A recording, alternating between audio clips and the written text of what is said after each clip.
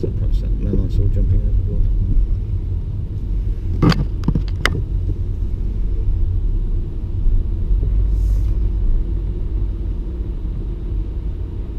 And I suppose the captain's in a hurry, isn't he? He wants to sail on time, and that means he needs to get everybody off and on again as double quick as he can. They haven't cleaned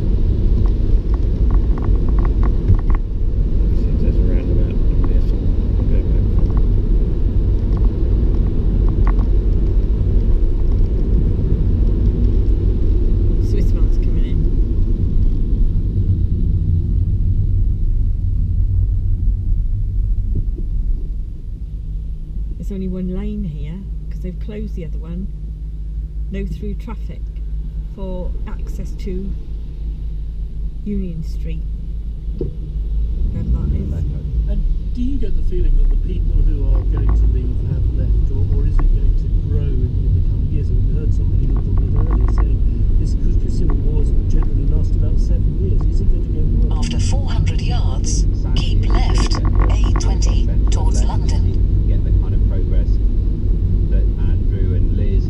talking about earlier in terms of ceasefire.